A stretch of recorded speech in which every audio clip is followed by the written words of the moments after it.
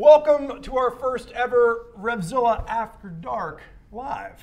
This is a live production, and Pat, what are we talking about today? Today we are going to take a look at our top picks, Spurgeon and I's favorite helmets under the $300 price point. So if you're just starting out or if you're looking for a new lid for 2024, we have some options for you. Not just any best helmets, best full-faced street helmets under $300. We have got five picks. There's going to be a QR code on the screen right now. So everything that we're going to talk about today, you can click that little QR code for the best helmets under $300. It'll be our picks as well as pretty much every helmet that you can look at under $300 if you want to compare some other ones. And then we also have a QR code on there that you can click if you want to see our entire best of line. Yeah, and if you're curious how we came up with this list, Spurgeon and I have probably the most uh, experience out there Completely of having Completely arbitrarily yeah. is the right answer. Yeah, of having helmets come across our desk. We evaluate them, we give that information out to you on a weekly basis here at Revzilla. So we figured we'd curate that list, put it together, and give you some options that might just be the next helmet for you. So without any further ado, keep in mind that uh, in the description, as soon as the live is done, we'll have links for all the helmets, we'll have links for all the content that we're discussing today. But I think it's time that we get into this. Yeah, yeah. I think uh, I'm, I'm curious what you had picked because I know we got a couple that are surprises between the two of us, specifically with graphics. So I'm curious what you picked, and I hope you like the picks that I made. The first helmet that we are going to start off with today for you is the Bell Qualifier DLX with MIPS.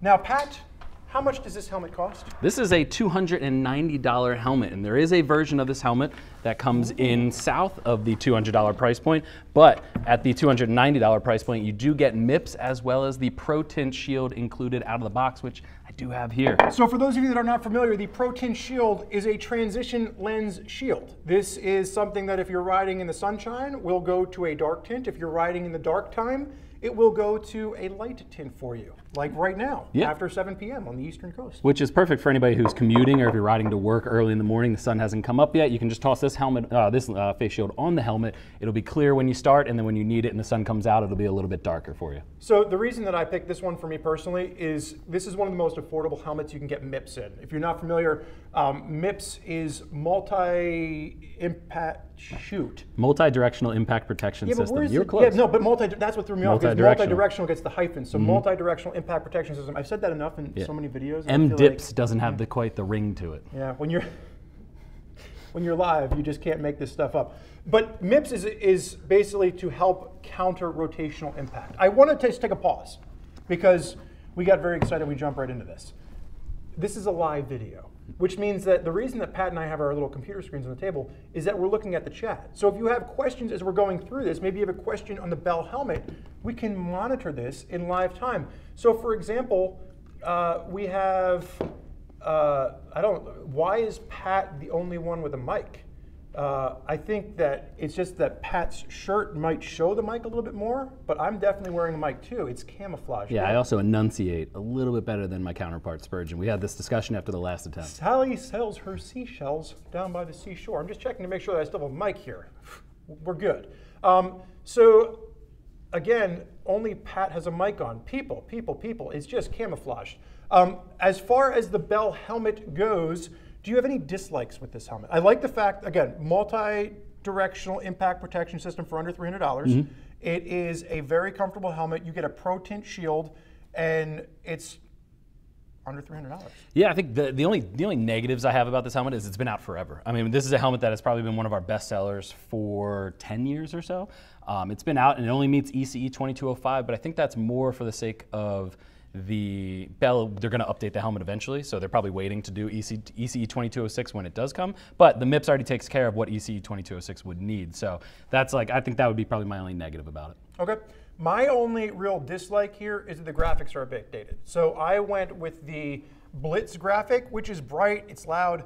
But if you're looking at the graphics for this and you're someone that really values graphics on your helmet, this is one that's probably a bit dated in its approach. Yeah, I, I have a black and red bike, so I think the uh, I think this was the Razor graphic. I think looks fantastic. Um, but again, I'm biased based on my bike. Besides, we're talking about best motorcycle helmets under $300 here. So take the graphics out of it. This is going to be a great pick for you. But graphics, as you see while this video goes on, do come into play. So I'm going to jump back into the comment section as we get ready for our second pick and just see if we have any specific comments Ooh, Vladimir Putin rides a Grom. We're getting political.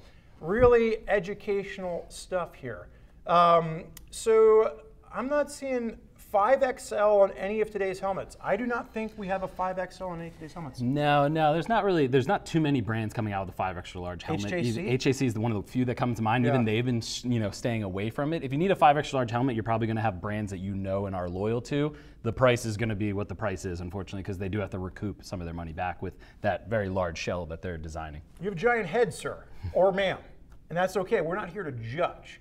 But I would say if you're looking at that list of best helmets under $300 that we're going to put in the description link at the end of the video, um, you're going to want to check out the HJC helmets on that list. That's probably going to be your best bet for finding a 5XL helmet. Great questions. Um, so apparently I don't need a mic. I did just see that one Yeah, as well. so apparently I'm I'm now too loud. So this is the beauty of doing it live. We have a whole crew where apparently I am overpowering the microphone. Who knows? yeah. Um, Vicky Demonchild is here. Good to see you. Vicky jumps in on a lot of our lives from Instagram. So let's move on from the Bell. So first pick of the night is going to be the Bell Qualifier DLX with MIPS. Great lid if you are looking for a helmet under $300. Next up, come on, producer Chase. This is live, baby. Take that helmet out of my hand.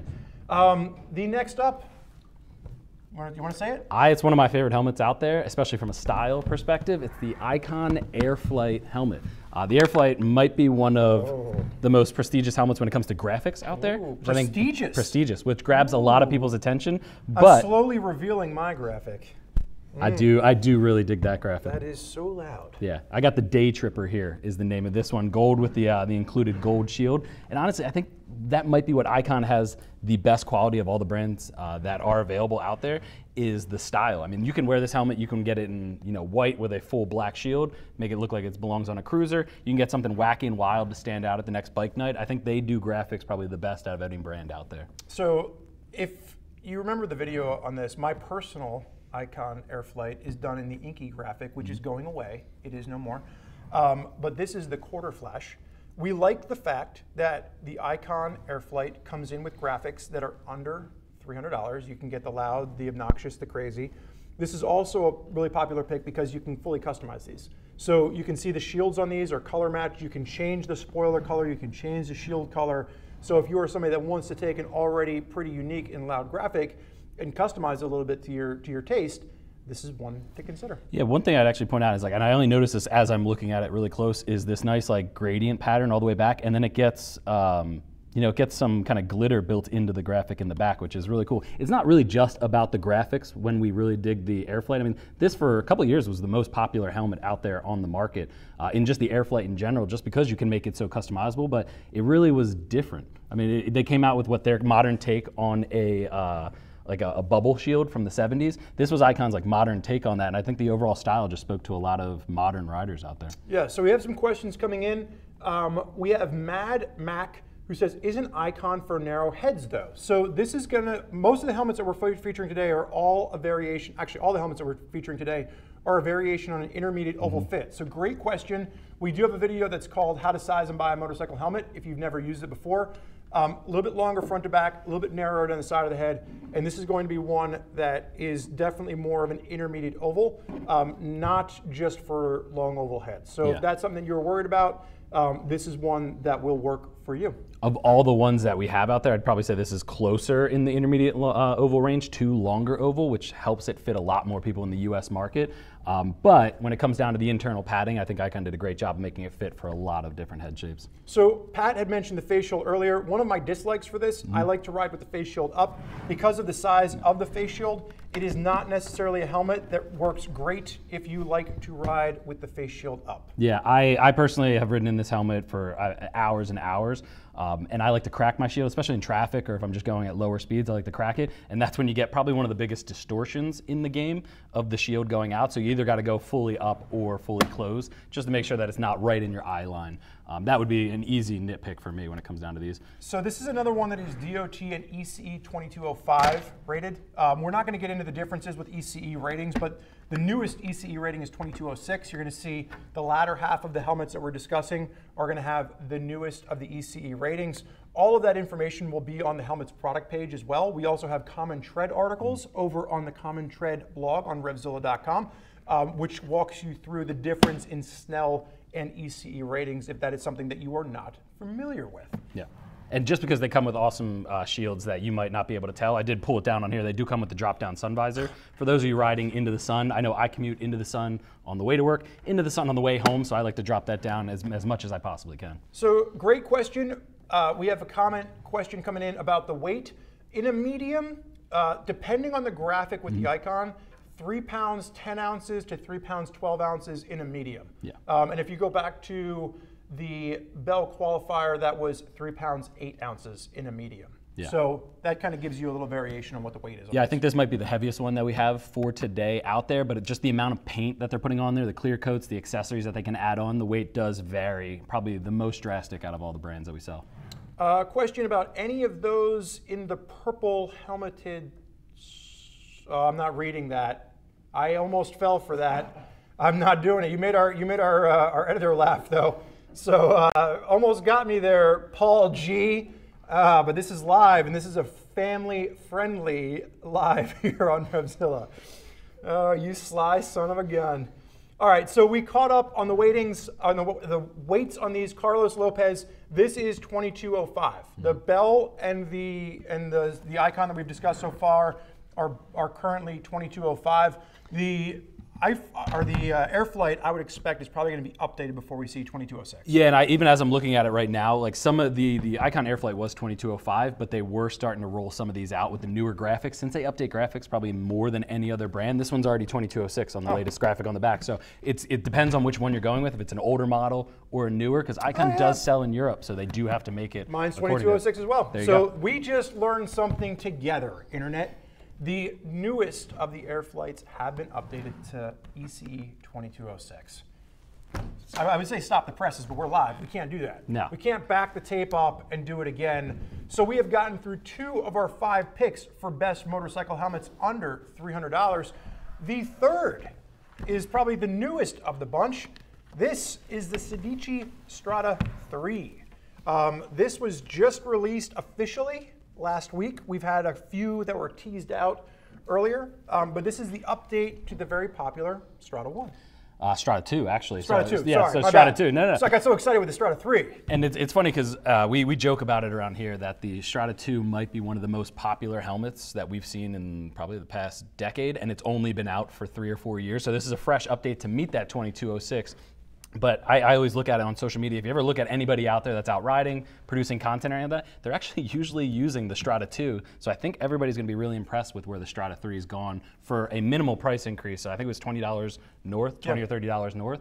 But um, you're getting a lot of features for that, which I'll let Spurgeon talk to. No, I was going to say if you watched the review that we did on this, what I liked about this was because the Strada 2 was so popular, they didn't just do a ground up redesign.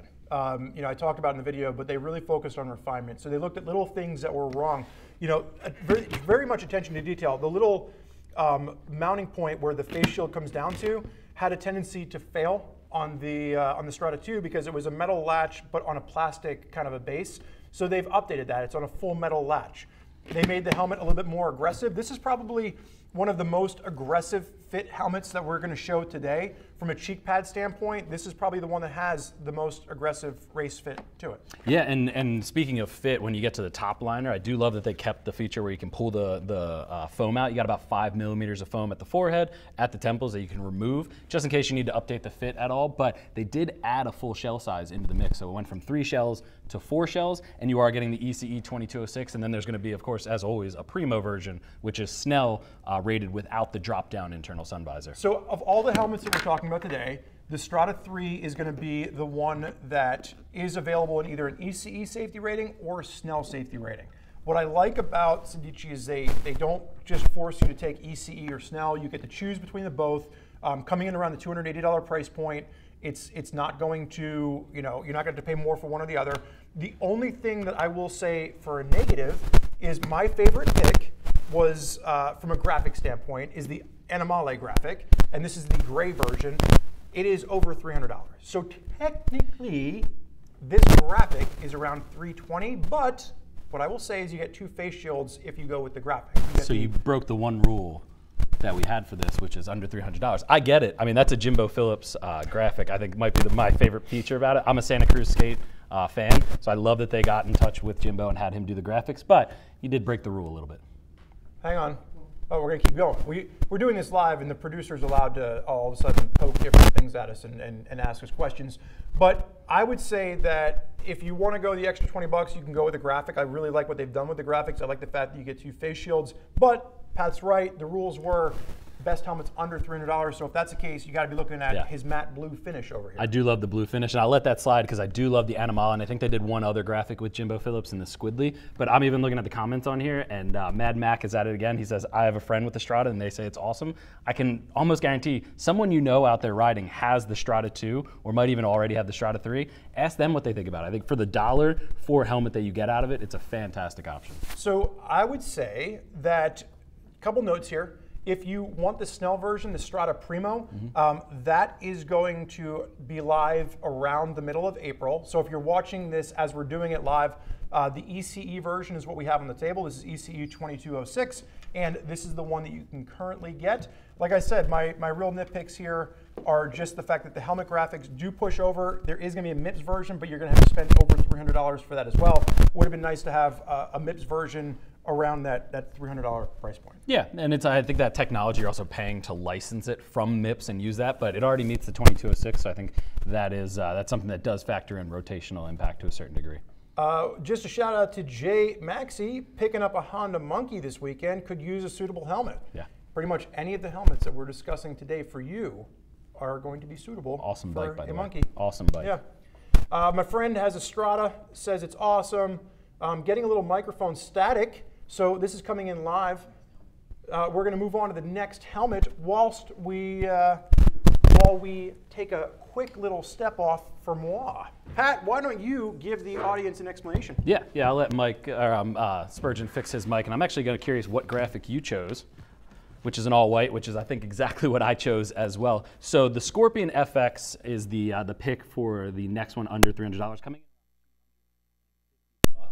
Honestly, this might be my favorite style-wise in the entire bunch, just because it reminds me of the old Stig helmet. So if you remember from uh, Top Gear or anything like that, I think we've seen other brands out there like Ruroc and a couple other brands do it very well and build an entire franchise out of it. Scorpion's throwing their hat in the ring, and I think they did a great job of styling it. At 250 bucks, I believe. Let me pull up my notes right here.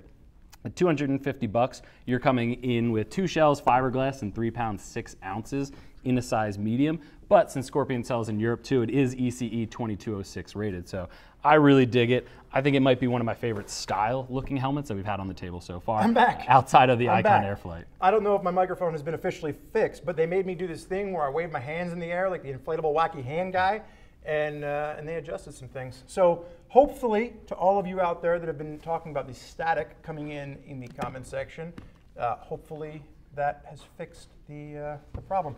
What I like about this one is that if you're looking at Scorpion's line of the covert, this is the one that gives you full face protection. So there's a mm-hmm. variety of different ones you can pick from.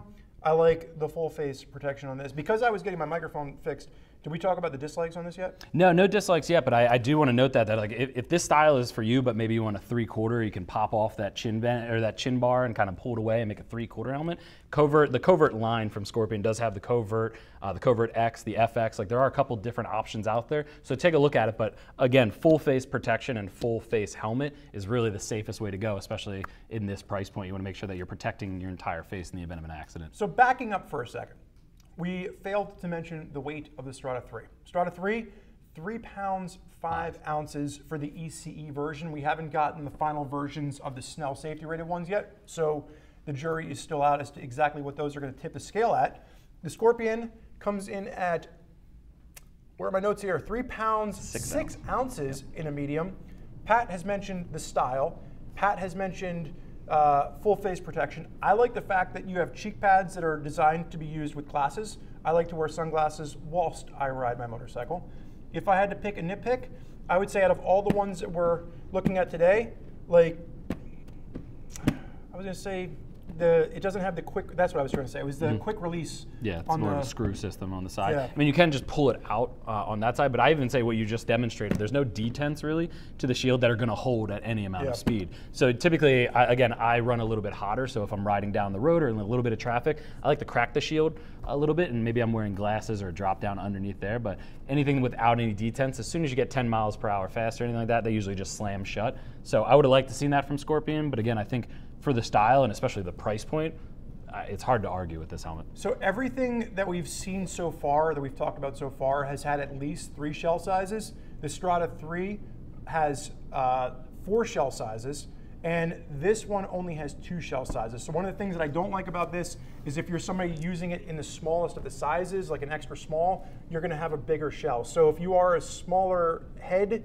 uh, rider out there, a smaller headed rider out there, um, this might not be the right pick for you just from a size standpoint. It might look a little bit big and bulbous compared to some of the other picks we've discussed today. Yeah, and a lot of the comments coming through are, are talking about how it does look like the Stig helmet or more of an auto racing helmet. And I think a lot of people dig that. I mean, the auto racing community is massive compared to the motorcycle community.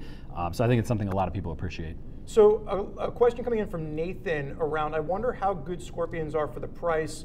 Um, looks like they're not bad. Scorpion, I think, is one of the best bang for buck options across the board. Whether you're looking at their most premium race helmets or you're looking at some of the more affordable options. The 420, is it the R420, the EXO R420? Yeah, the R420 was always in our, our best helmets of the year because it was Yeah. $150 for Snell. I know they're getting ready to update it, and we're curious to see what the next one brings. But I mean, they, they bring affordability. They even have a MotoGP level helmet at the $400 price point in Yeah. the R1 Air. So it's like they, they bring a And it tremendous came with amount a of bunch of value. extras. So yeah. for those of you out there that have never tried a Scorpion, I've used a few different ones now, and I think it's oftentimes a recommendation for people that want a premium style helmet, but with a little more budget friendly uh, price point in mind. Yeah, yeah, and again at 250 bucks, I, I, it's hard to argue that this isn't my favorite, more V twin style, cruiser style looking helmet out there, and the graphics that comes with the dark smoke right out of the box. So, yeah, There you go. So we are now cooking right through this, and I will say this is fun. I, I, this is this is going a little bit faster than I was expecting. I didn't expect to get to the,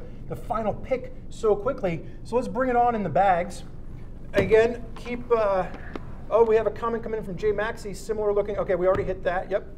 Uh, thoughts on airflow with all these helmets? If you to pick before we reveal the final pick, best airflow for all the helmets we've talked about today. best airflow. Um, it's hard to argue with the Airflite. It has that that cutaway in the dead center of like I know yours had the special the special design to the actual shield, and that cutaway does allow a ton of air to flow through. I'd say probably that or the Strada three. Okay, so there you have it. Um, the pick for the final one on the table is going to be probably some of the highest end race graphics that you're going to see. so this is.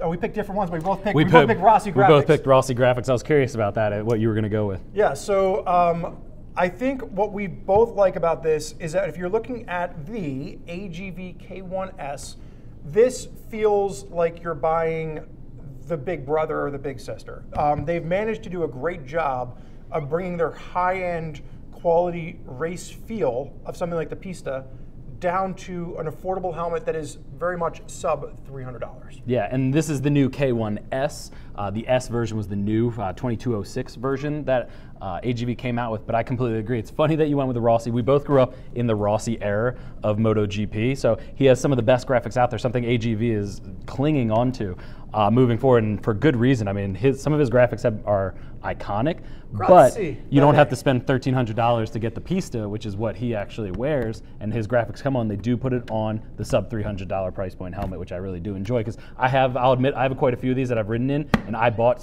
simply for the graphic, wore them for a season or two, and then hung them up on my wall. Pat likes to hang things on his wall. Mm-hmm. Um, so I would say one of the things I like about this is the, the the shield on this is one of the, the nicest quick release systems that we that we see. This is on some of their some of their other helmets. Um, and then from an aerodynamic standpoint, this goes through the same testing as their full-on race graphics or their full-on race helmets. Uh, one of the questions that we saw coming through in the comment section on this is which of the helmets that we talked about today is the quietest? Uh, that's a question that we get a ton. Uh, the quietest helmet is whichever helmet you wear with earplugs.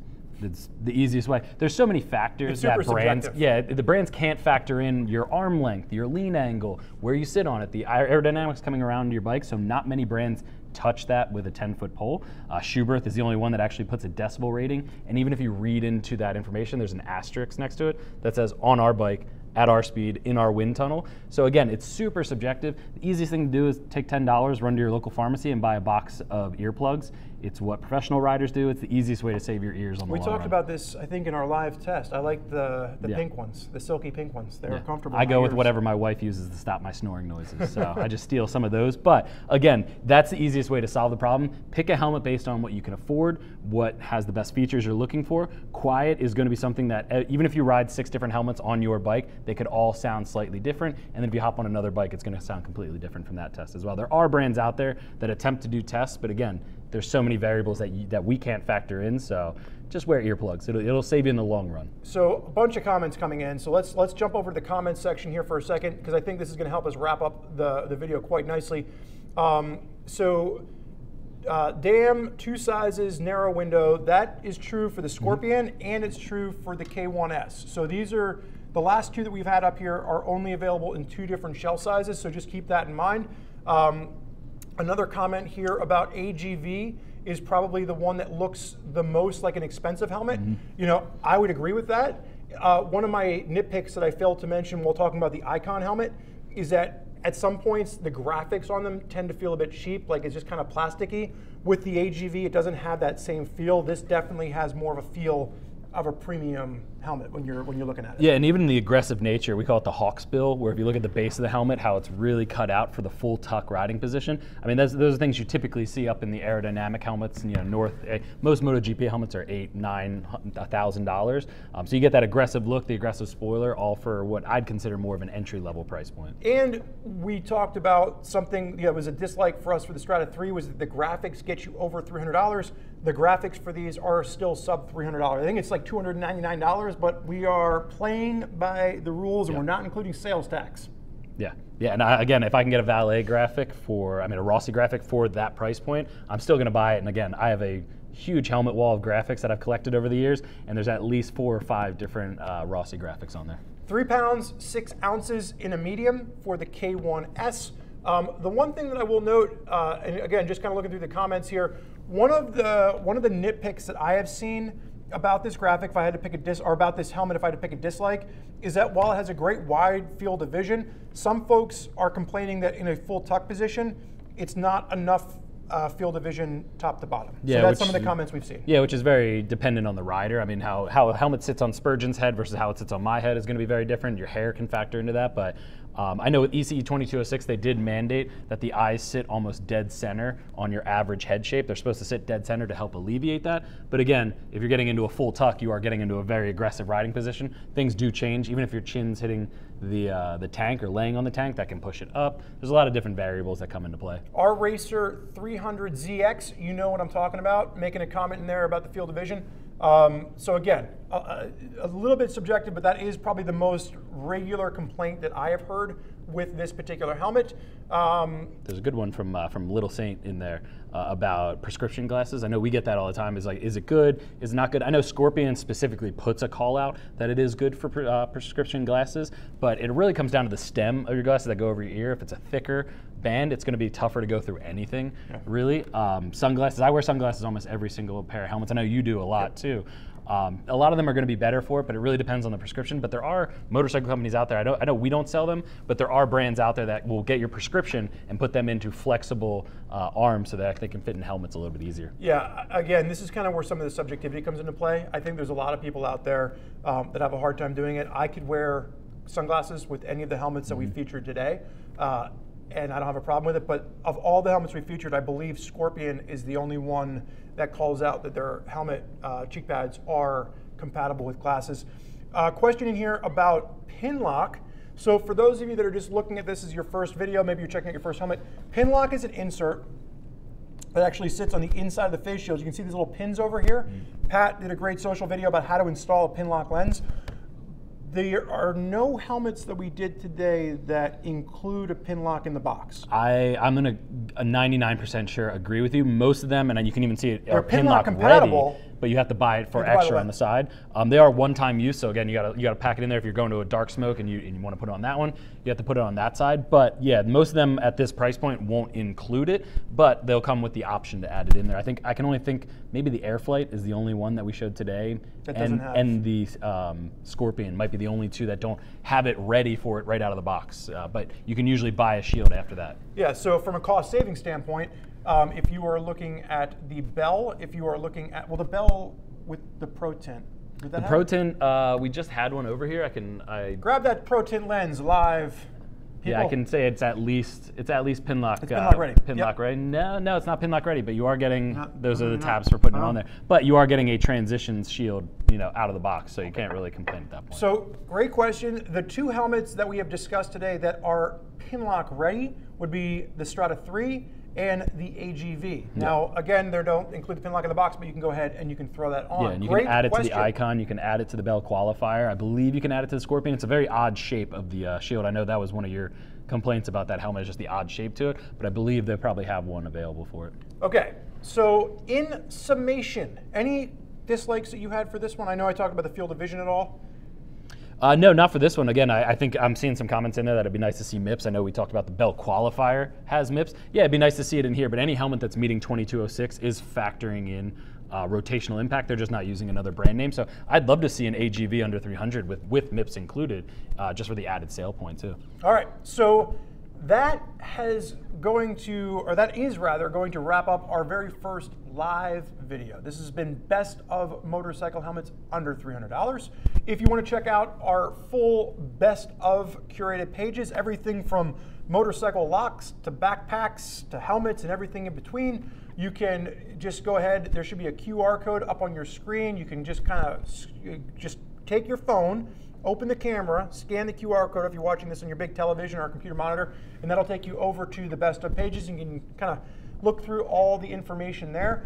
And if you want to see all of the helmets that we have discussed today, there is also a best motorcycle helmets under $300 page. That's going to give you all the helmets under $300. There should be a QR code for that, hopefully up on your screen right now. There will also be links for everything we talked about in the description of the video once we put it up. Yeah, and if you do have any other questions or anything like that, feel free to reach out to our customer service team. I know we always reference that in our videos. They are all riders, happy to help you get set up for your next ride. But feel free, any questions you have about anything we saw today or any other helmets, everyone over there is more than happy to talk helmets, talk other gear, and help you out in making the best educated decision for your ride. I think that about does it. Unless you have anything else for the audience. No, I'm actually gonna probably steal that helmet from you because I really dig that graphic. No, this is my graphic, Pat. You can't have it. I chose it, and it is mine. For all of you out there in TV land, from us here live at Revzilla, thanks for joining us. And enjoy the ride.